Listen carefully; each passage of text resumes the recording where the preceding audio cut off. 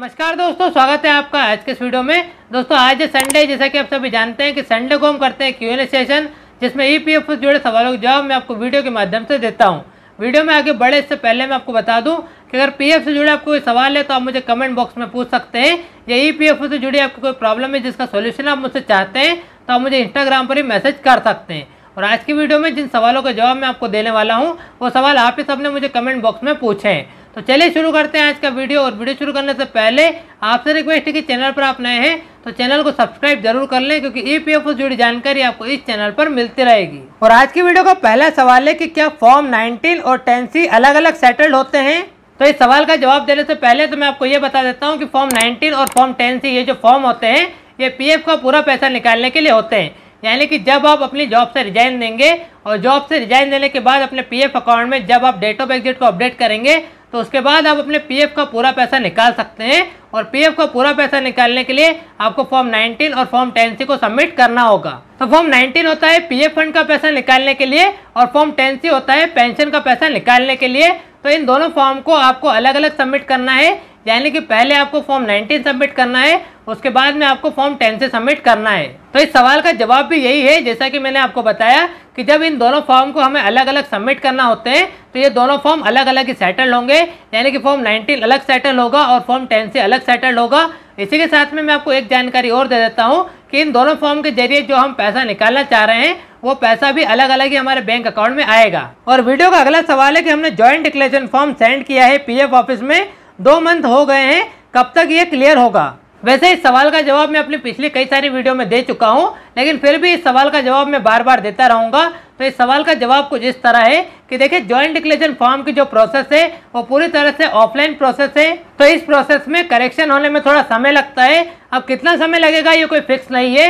लेकिन इसका मतलब ये नहीं है कि ज्वाइंट डिक्लेरेशन फॉर्म जमा करने के दो महीने के बाद भी आपके पीएफ अकाउंट में करेक्शन ना हो। लेकिन अगर ऐसा हो रहा है या फिर ऐसा हुआ है कि आपने ज्वाइंट डिक्लेरेशन फॉर्म को अपने पीएफ ऑफ़िस में जमा किया है और एक महीने से ज़्यादा हो चुका है या फिर दो महीने हो चुके हैं और आपके पीएफ अकाउंट में जो करेक्शन आप करवाना चाहते थे, वो करेक्शन अगर नहीं हुआ है तो आप अपने पीएफ ऑफ़िस में कांटेक्ट करें और अपने पीएफ ऑफ़िस में ये पूछें कि मैंने इस तारीख को ज्वाइंट डिक्लेरेशन फॉर्म को जमा किया था, लेकिन अभी तक भी मेरे पीएफ अकाउंट में करेक्शन नहीं हुआ है। तो करेक्शन क्यों नहीं हुआ है, क्या कारण है और कितने दिन लगेंगे पीएफ अकाउंट में करेक्शन होने में, ये सारे सवाल आपको आपके पीएफ ऑफ़िस में ही पूछना है।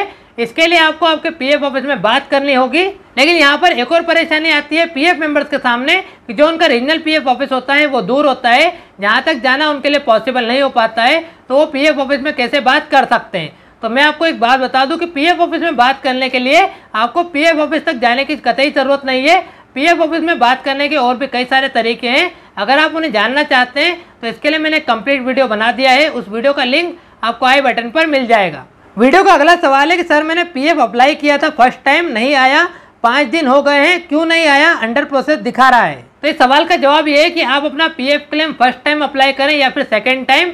PF claim settle होने में समय लगता है, लेकिन जैसा कि ये कमेंट में लिख रहे हैं कि इन्हें पाँच दिन हो गए हैं, पीएफ क्लेम सबमिट किए हुए। तो जैसा कि मैंने बताया कि पीएफ क्लेम सेटल होने में समय लगता है, कम से कम एक हफ़्ते का समय तो लगता ही है पीएफ क्लेम सेटल होने में। वैसे ईपीएफओ का कहना है कि नॉर्मली 20 दिन लगते हैं क्लेम सेटल होने में। तो क्लेम सबमिट करने के पाँच दिन के बाद अगर आप पूछेंगे कि मेरा क्लेम सेटल नहीं हुआ है और पीएफ का पैसा नहीं आया है तो पाँच दिन के अंदर तो कोई क्लेम सेटल नहीं होगा टाइम तो लगेगा।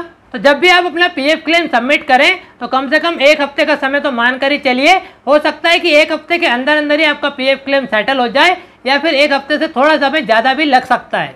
वीडियो का अगला सवाल है कि, सर, मेरा आधार लिंक नहीं है। एम्प्लॉयर आधार लिंक करता है तो तुरंत हो जाता है या फिर टाइम लगता है। इनका सवाल ये है कि इनके पीएफ अकाउंट में आधार कार्ड लिंक नहीं है।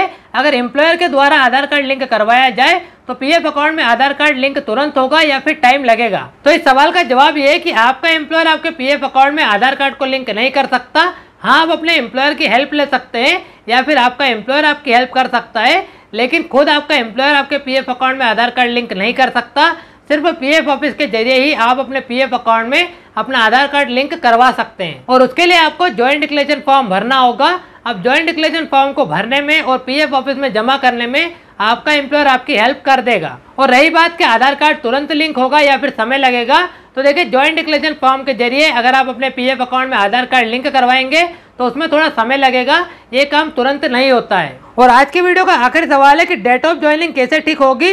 कंपनी तो बंद हो गई है। दोस्तों, इस सवाल का जवाब देने से पहले तो मैं आपको बता दूँ कि ये परेशानी काफ़ी सारे पीएफ मेंबर्स के साथ हो रही है कि वो अपने पीएफ अकाउंट में कुछ करेक्शन करवाना चाहते हैं, लेकिन वो पीएफ मेंबर जिस जगह पर जॉब करते थे, जिस कंपनी में जॉब करते थे, वो कंपनी ही बंद हो चुकी है। तो इस सवाल के ज़रिए और इस वीडियो के माध्यम से मैं आप सभी को यही कहना चाहता हूँ कि अगर आपके पीएफ अकाउंट में कोई जानकारी गलत अपडेट है, जिसे आप सही करवाना चाहते हैं, लेकिन आप जहाँ जॉब करते थे, वो कंपनी बंद हो चुकी है, आपका एम्प्लॉयर अवेलेबल नहीं है तो आप बिना एम्प्लॉयर के भी अपने पीएफ अकाउंट में सभी जानकारियाँ सही करवा सकते हैं। उसकी भी एक प्रोसेस है। लेकिन जैसा कि ये संडे की वीडियो है और इस वीडियो में मैं आपको वो पूरी प्रोसेस नहीं बता पाऊँगा, वरना ये वीडियो ज़्यादा लंबा हो जाएगा। तो अगर आप उस पूरी प्रोसेस को जानना चाहते हैं तो उसके लिए मैंने कंप्लीट वीडियो बना दिया है। उस वीडियो का लिंक आपको आई बटन पर मिल जाएगा।